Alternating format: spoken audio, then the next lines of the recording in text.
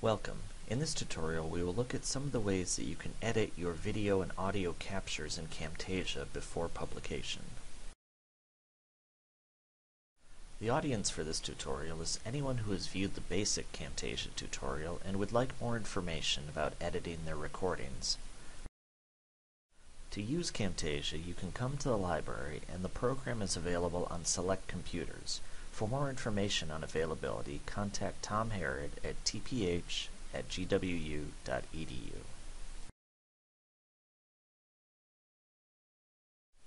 By the end of this tutorial, you will be able to explain and employ many of the common editing techniques for Camtasia.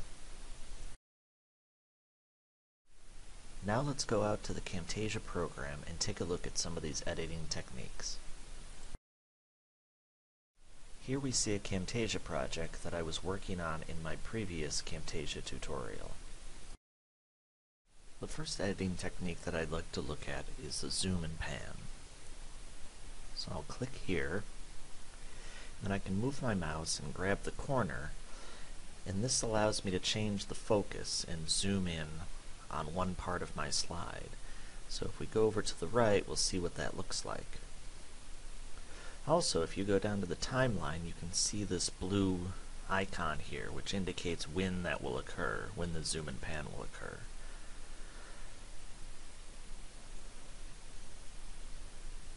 I can actually stretch out the icon to make the zoom slower.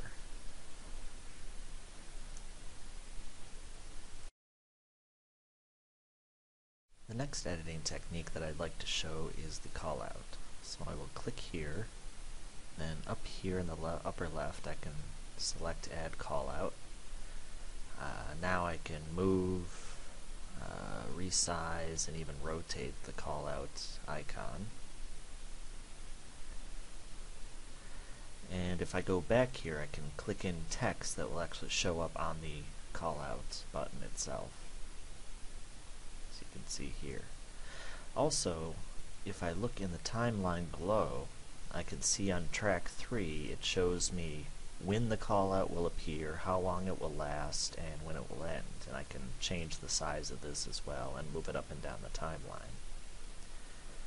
Now I'm going to go ahead, move forward in the timeline, and I'm going to add a new callout. So I'll change the shape and remove the text, and then move it around. Can put in some different text and then go down here and click on Make Hotspot and then go to Hotspot Properties. This particular icon will pause the tutorial and it will only continue once you click.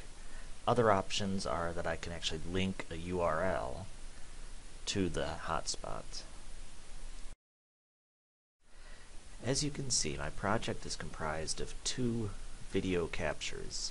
Let's play the video and see what the transition looks like. As you can see, it's a very abrupt transition between the two slides. Camtasia has an editing tool that allows you to make it a much smoother transition by adding in a specific visual effect. So let's click on Transitions, and then I can scroll down here and choose which visual effect I want. For this, I'm going to take the Pixelate effect. So I will left click and drag it down and place it between the two video captures. Now let's play it again and see what it looks like.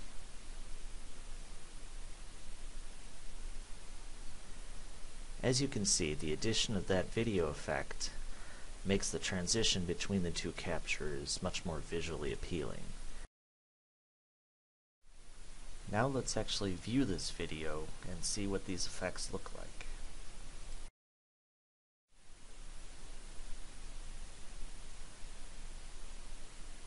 Here is the arrow callout. And next we'll see the zoom and pan feature. There was the pixelated transition, and here was the button callout.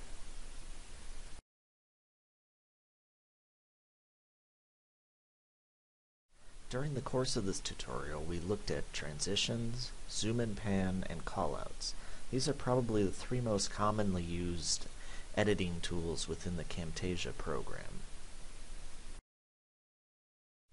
If you have more questions on this, or you'd like to set up a one-on-one appointment to talk about your Camtasia project, please feel free to contact me. My email address is tph at gwu.edu.